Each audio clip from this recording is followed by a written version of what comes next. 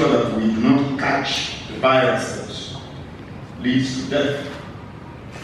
But that shouldn't mean that whoever violates the rules, regulations, or even the law should be beaten, should be imprisoned.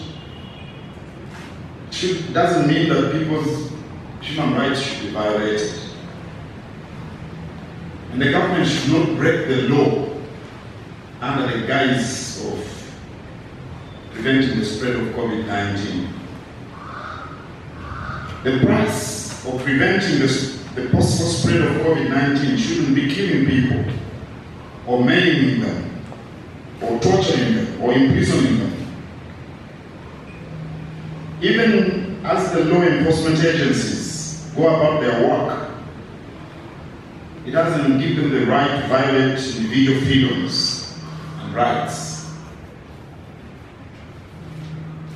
We have seen many political processions. I saw political processions in our world.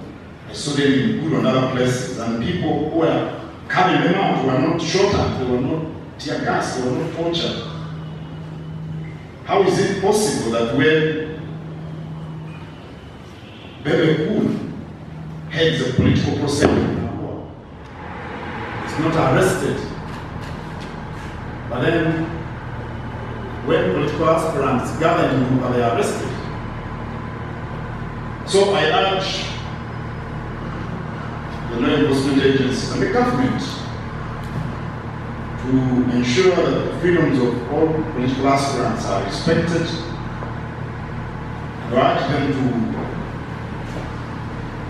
to resist from breaking the law in the name of stopping the spread of the COVID 19 pandemic.